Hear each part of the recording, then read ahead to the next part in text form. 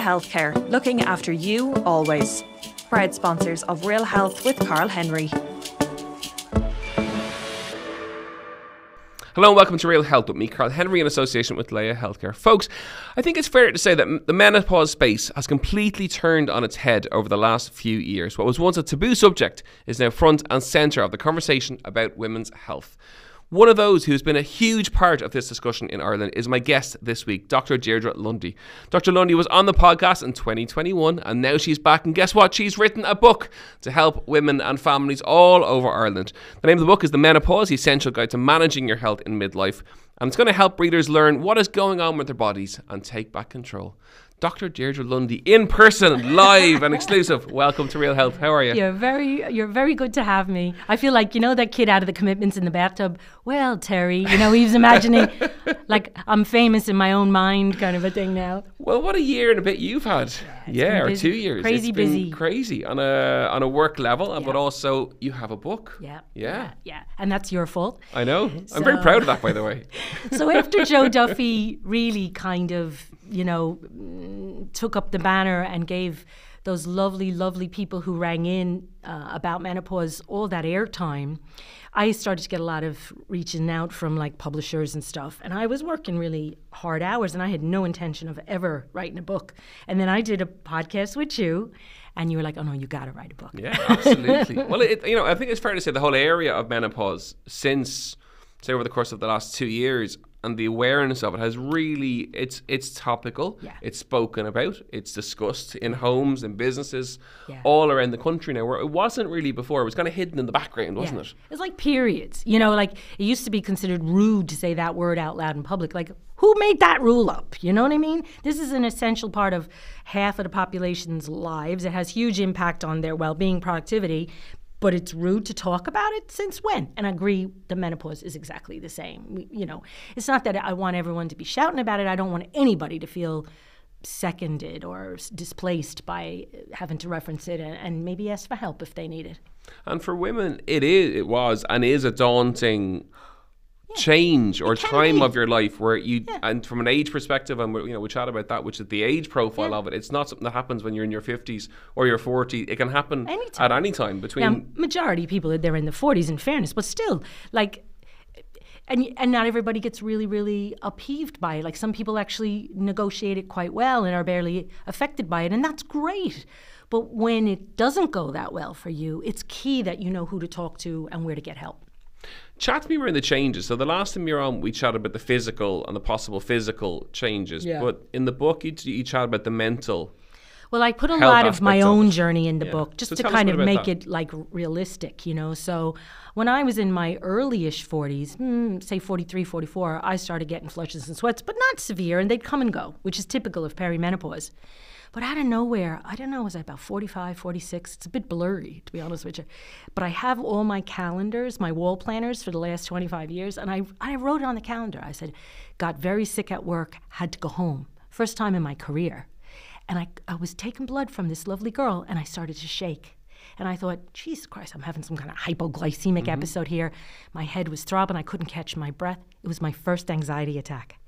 But I didn't know what it was. And I was sure it was some kind of organic thing. And then I, it didn't go away and it kept coming back. And I went to my GP. I was like, what the hell? I can't be like this. I got to work. And then he was trying to help, but he didn't know for sure what was going on. I didn't know for sure what was. It took almost almost the guts of two years to figure out it was part partly to do with the hormones, you know. So I put a lot of that information. So the emotional stuff is a big part of the menopause journey for some people, and you know. I just think it is an area where there's maybe still a little bit of shame around that you need to say to someone, I need help. I'm getting mood changes. I'm a bit ragey, a bit irritable, depressed, anxious. Um, it doesn't make you weak to ask for help. It makes you, sh- it is a strong thing to do.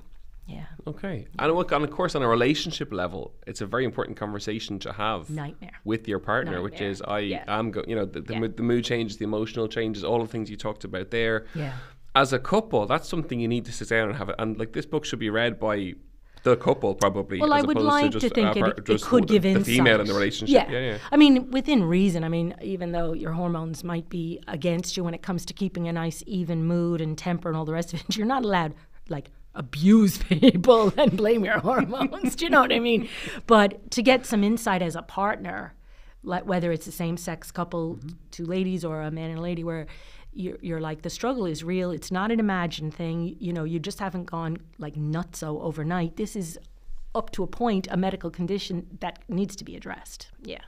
And of course, everyone experiences it differently, don't they? In terms of the symptoms that they may or may not have, or the weight gain that may or may not. And, and that's part of it. Like if it was if it was something like really straightforward, like if you get um, ischemic heart disease, you get central chest pain, ex- uh, you know, dyspnea on exertion, you get breathless on exertion. It's pretty algorithmic. Whereas there's what like 50, at least 50 symptoms of the menopause and perimenopause. 50. Oh, Janie, yeah. and, and climbing. and the Yeah, list yeah. is growing, you know. and some of them are really life altering, and some of them are relatively trivial. Mm-hmm. And how much uh, the, how much that affects you is very personal. So someone will have a lot of self esteem issues around tiny gain, gains in weight, whereas other people will have horrendous sleep deprivation from flush, flushes and sweats, but actually roll on Mm-hmm. and take a nap and modify their lifestyle to, to cope. So everybody's journey is individual. And weight gain is because we see it with, and have seen it with clients over the course of the last 22 years. You know. Yeah, it's like, and you cannot predict it. No. No. So each, even if someone is go, who goes into the menopause very fit, very lean, they may gain two stone. through no fault of their Randomly. Own. Not that weight gain is everyone ever anyone's fault. you No, know, not at all, no. But like it is known. But they eat the same, train the same, and all of a sudden they're randomly gaining body yeah, fat. because your metabolic rate as a female, as a person with ovaries, definitely depends on the balance of hormones coming out of your ovary. And if you start to experience hormonal shift, more shift than deprivation, shift is the problem. Your re- metabolic rate drops. You're eating the same level of calories. You're burning the same level of calories. You're gaining weight. Yep. You're like, what the heck is going on? You know. And when we rebalance the hormones with the HRT, you think that weight will miraculously fall Doesn't. off? Oh no, it doesn't. Yeah, yeah. So, is the message for people listening in to be a bit more kind to themselves uh, and to take to look at the other aspects of health and wellness when they, if they do begin to gain weight and they are one, if they are one of the the women who do gain weight through menopause, it's being a bit more gentle on yourself and kind to yourself. You're and you look at the other stuff. It's not because you have no. Yeah. discipline. You know, you're supposed to enjoy eating. You're supposed to exercise to a point where you're enjoying it, not to make it a kind of a penance. You Mm-hmm.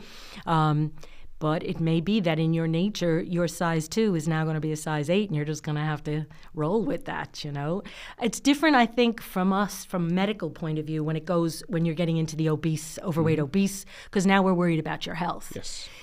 Um, And, and of course, you can. We've seen it with with Operation Transformation. We've had leaders on who have been going through the menopause or post and they can lose weight. Yeah. So it is doable. It is doable, It just but it's a lot more work. And as we would say to them when they come in, or even for the in the first health check-in, which is we don't know how this is going to go. We can't predict it because your uh, menopause changes everything. It's a unique thing. and it's really important to say that to, to anyone listening in that menopause does it, change, it changes the rules. Yeah. And every single person is so individual, whether they gain weight, lose weight.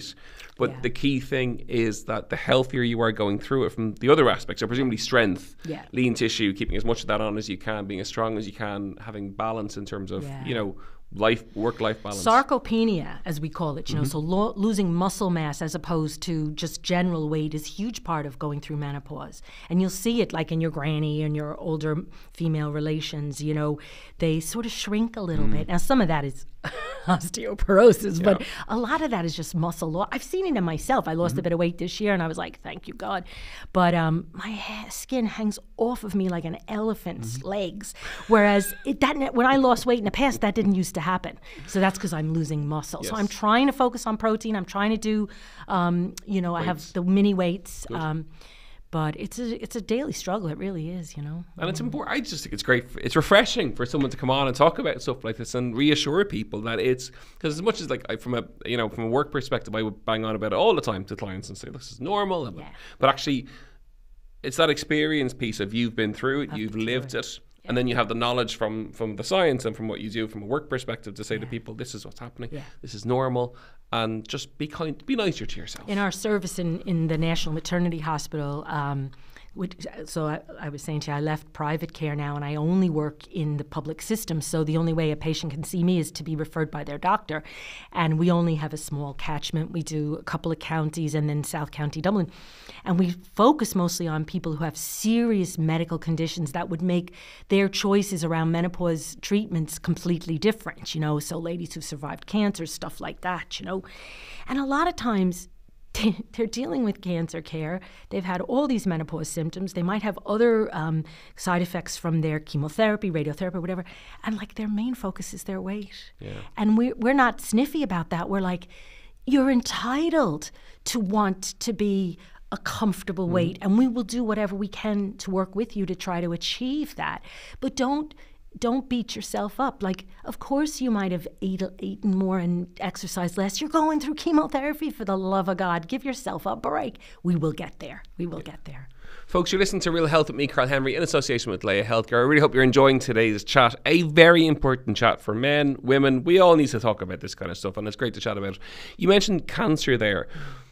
The last time we were chatting, you were saying that you know the link, the HRT link, that there is a fear around cancer and HRT. Yeah. Chat to me a little bit about that. So one of the reasons why you're hearing loads about menopause at the moment is because for the longest time, even if someone knew these symptoms this person was having were menopause related, there was very little would I won't say was available. There mm. was there were treatments available, but a lot of patients were not interested in these treatments because in 2002, a study from the United States was published in the Journal of the American Medical Association that seemed to imply that if you used hormone therapy to correct menopause symptoms, you got an extraordinarily high risk of getting breast cancer, which was an absolute fallacy. It wasn't true then, it isn't true now.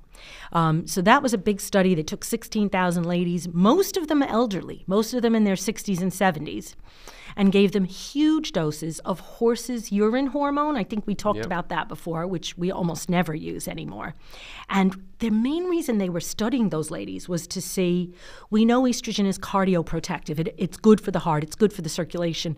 They wanted to see if they could reverse heart disease in those elderly ladies, many of whom had already had a heart attack, by throwing all this horse's urine estrogen at them. That was the focus of the study they found the answer was yeah, but uh, uh, some of them didn't do so well in the first year, so they weren't going to do that as a population measure. But they found that there was a slight increase in the number of women presenting with breast cancer in their 60s and 70s among the ladies who used the estrogen and the progestogen. But the increase was about the same as what you see in women who drink one and a half glasses of wine a day. And a, and a fraction of the increased breast cancer detection we see in women who are overweight not even obese now, just overweight. So, relative to other things that people do in their lives or have in their lives, it was small change, small potatoes. But the media just lost the plot. And they were like, HRT gives you breast cancer. So I'd be meeting women in the 2000s, 2010, who had horrible symptoms, really severe need, zero risk, absolutely suitable for HRT, wouldn't touch it, wouldn't buy it, wouldn't take it, couldn't give it away. Then in 2015, the UK's National Institute of Clinical and Healthcare Excellence, NICE, said, ladies, lads, what is going on? HRT does not cause breast cancer. All these poor women are in bits. Why are you not giving them balanced information? Don't read your medical information from a headline in a paper or a journal, you know, eh, whatever. You need to go by guidelines. And then they introduced the UK national guidelines for care of menopausal women. And and really the the algorithm, you know, the kind of the it's been logarithmically improving year on since 2015. And then from an Irish perspective, I think Joe Duffy was a big turning point for us. Would you agree? Yeah. Like, yeah, absolutely. Yeah, yeah. it just it brought it into the national the national yeah. psyche, which was fantastic. And it's not that we think, oh, every single person has to be on hormones. Mm-hmm. Not at all. We're just saying, stop, take that fear yep. away, and and particularly important that healthcare providers don't be afraid of hormone therapy, because the facts don't support that fear. And if you're nervous and you're unsure about how to proceed, what the heck are you going to be putting on to the ladies, uh, the patients who come and attend you, you know.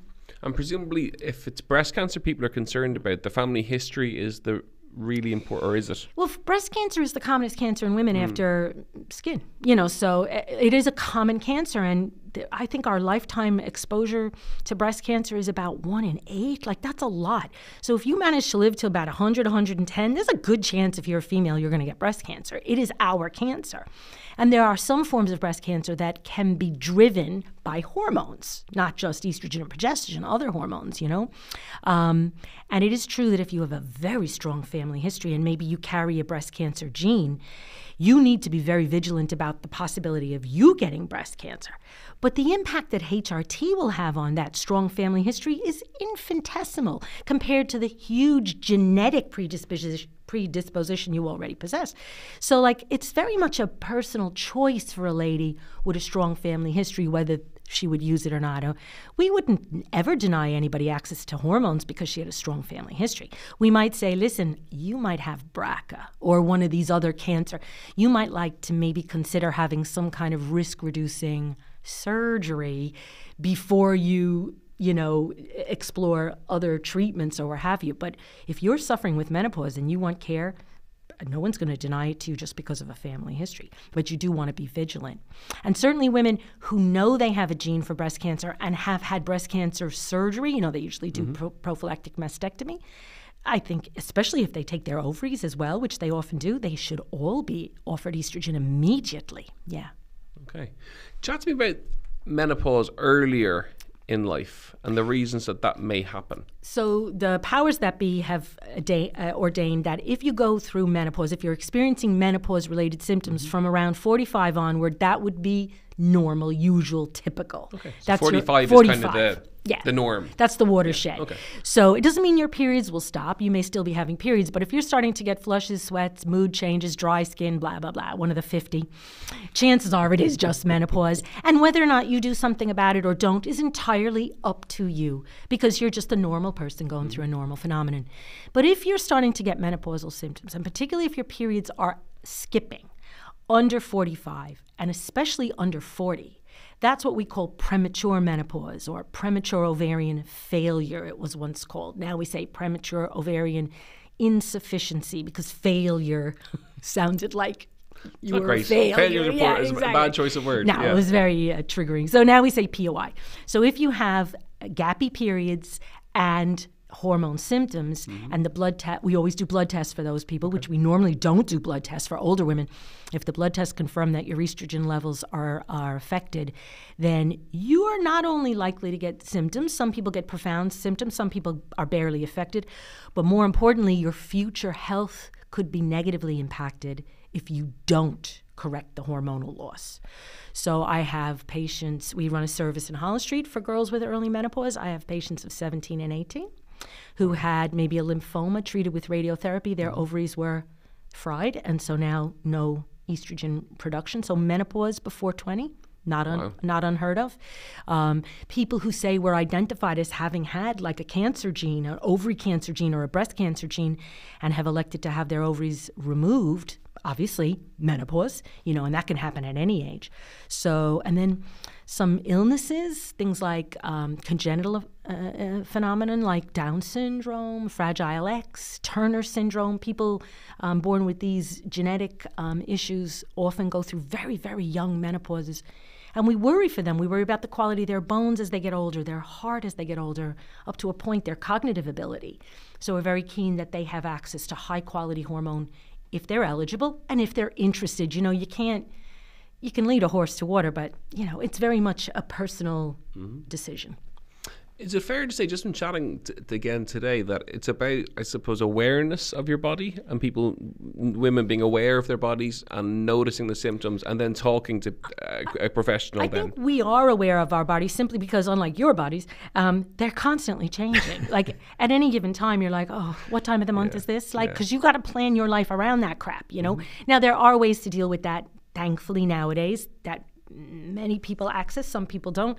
It's a personal choice again, but we have actually started to become, we've ha- had had to become in tune with the ups and the downs. And really, I think menopause is just a variation of that. You know, yeah, yeah, off the charts, like with yeah. fifty different uh, potential, yeah, exactly, potential symptoms. Exactly. Yeah, but it, you know, but it, if it's important of women, of kind of any age, really, to really know their bodies and to really know. And if they are concerned, there's no stigma around going to your GP now or getting referred into whatever uh, you know, your own, like a service like your own.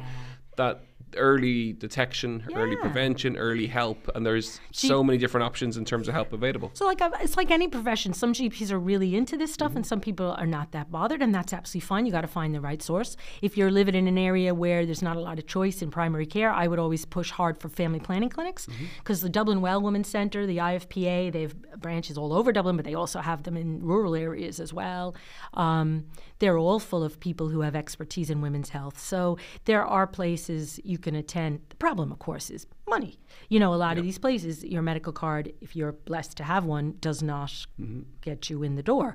So there is a sort of a socioeconomic filter there, and that's not fair. And, and on some level, this book that I'm supposed to be promoting, I felt bad. Like I wanted to self-publish a book. I told Yeah, you you that, and I wanted yeah. to give it out, like Yeah, you know, post You wanted to put it as a leaflet. I did, yeah. Penguin listening again would not be very happy No, they that. wouldn't, no. you know. So like, and it did occur to me only lately. I realized like a lot of the patients that I'm meeting, we see POI ladies from all over the country. We have a, a, a catchment area for the normal menopause, but for the young girls, I'll take anybody from anywhere. Clare Island, Tory, come on to Holles Street, come on to the National Maternity Hospital.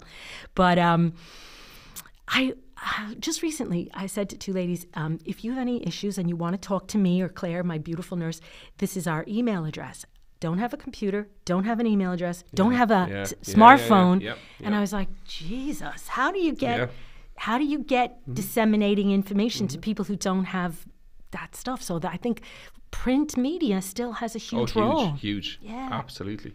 Uh, thank you for coming in. It's My been pleasure. wonderful. My and to see you in person this time is even better. We're very proud of Real Health that this book is on the shelves because we helped get it there, which we're delighted Ah, with. you did. Remind us about the name of the book. Uh, the menopause, the essential guide to midlife health. I think. And yeah. it's available in bookstores nationwide. Everywhere. So if you are listening in and you are intrigued, or you're even a, a, as a relationship that you want, might want to buy it for your partner or something like that, it is available nationwide. Dr. Deirdre Lundy, thank you so much for joining us today, folks. I really hope you enjoyed today's episode of Real Health with me, Karl Henry, in association with Laya Healthcare. You know where we are at Karl Henry PT on Instagram, realhealth at independent.ie. Have a wonderful week, and we'll see you next week. Slán go fó. Laya Healthcare, looking after you always. Proud sponsors of Real Health with Karl Henry.